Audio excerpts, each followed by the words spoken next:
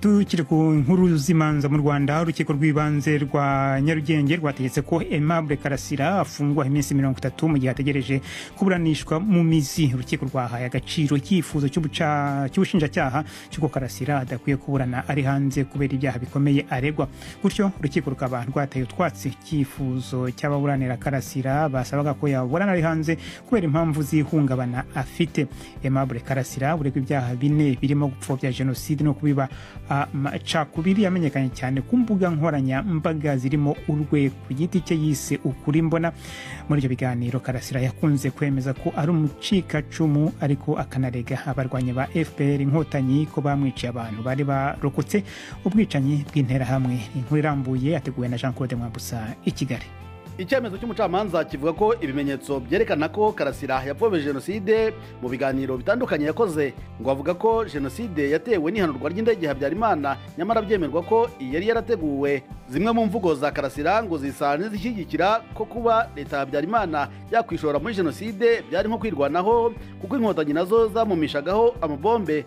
Anaregwa imvugo ko felicien kabuga azira ko atatanze imisanzu muri fpr naho kugura imihoro yakoreshejwe muri jenoside bikaba urwitwazo. Umucamanza ngo asanga karasira ahamya ko hari bamwe mu banyarwanda bagizwe ibitambo kandi bikozwe n'abandi. Kuri we ibi bikaba ari uburyo bwo kubaremamo ibice.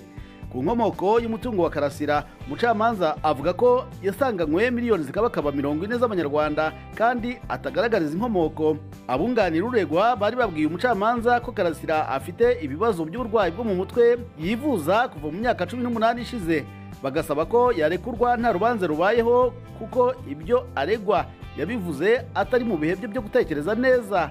Ibi kandi bishimangirwa na raporo ya muganga ivuga ko uregwa afite ibibazo bikomeye byo mu mutwe bishobora kumutera gukora ibyo atatekerejeho. Ibi ariko biterwa utwatsi n'icyemezo cy'urukiko cyo kivuga ko nta kigaragaza ko ibyo karasira yavuze atari afite ubushobozi bwo kumenya neza uburemere bwabyo. Icyifuzo cyo kumurekura kugira ngo yivuze na cyo kimwe agaciro kuko no muri gereza bavura kandi ngo kumufunga ni bwo buryo bwonyine bwo kumubuza gukomeza gukora ibyaha. Aimable Karasira ari muri gereza guhera ku itariki ya mirongo itatu n'imwe z'ukwezi kwa gatanu. Ibyaregwa bishingiye ahanini ku biganiro yashyiraga ku rubuga rwa YouTube ukuri mbona ndetse n'ibyo yahaga abandi banyamakuru. Urukiko karasira yumvikanye ashimangira ko atemera ubutegetsi buyoboye igihugu. Avuga ko bwamugiriye nabi. Mu biganiro bye yumvikanye kenshi avuga ko ari umushingwacumu aho kuba uwacitse ku icumu kuko bamwe mu bagize umuryango we bari barokotse jenoside nyamara bagahitanwa n'abavuga ko ari abasirikare ba fpr yari imaze gufata ubutegetsi. Ubuholandi bwohereje mu rwanda umugabo w'imyaka mirongo irindwi n'ibiri y'amavuko ushinjwa kugira uruhare mu iyicwa ry'abatutsi muri jenoside yo muri mirongo icyenda na kane. Bena rutunga yarwanyije mu nkiko zo mu buholandi icyemezo cyo koherezwa mu rwanda ariko mu nyuma aza gutsindwa mu kwezi kwa gatanu. Abantu bashinjwaho kugira uruhare muri jenoside kenshi bakunze kwinuba bavuga ko nta butabera bashobora kubona mu rwanda. Ni inkuru ya ive bucyana i kigali. Nk'uko byatangajwe n'ubushinjacyaha bw'u rwanda vena rutunga w'imyaka mirongo irindwi n'ibiri y'amavuko yafatiwe mu buholandi mu mwaka wa bibiri na cumi n'icyenda biturutse ku mpapuro zo kumufata zatanzwe n'u rwanda. Amakuru ava mu bushinjacyaha avuga ko vena rutunga yajuririye icyemezo cyo koherezwa mu rwanda. Urukiko rw'ubuholandi rutesha agaciro ubujurire bwe mu kwa gatanu uyu mwaka.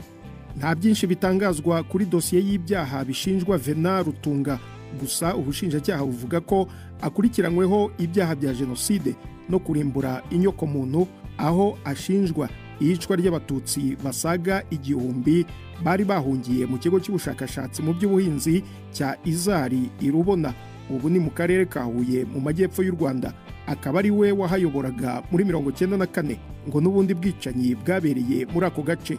U rwanda ruvuga ko igihugu cy'ubuholandi kiri kugira uruhare runini mu gushyikiriza ubutabera abakurikiranyweho ibyaha bya jenoside yakorewe mu rwanda muri mirongo icyenda na kane. Vena rutunga ni uwa gatatu ubuholandi bushyikirije u rwanda muri bibiri na cumi na gatandatu bwazanye jean baptiste mugimba na n'ubu ukiburana ndetse na jean claude iyamuremye wahamijwe ibyaha bya jenoside agakatirwa igifungo cy'imyaka makumyabiri n'itanu. Ni mu gihe abandi banyarwanda babiri bakatiwe n'inkiko zo mu buholandi. Joseph mpambara yakatiwe igifungo cya burundu. Na yvonne basebya wakatiwe imyaka itandatu n'amezi umunani.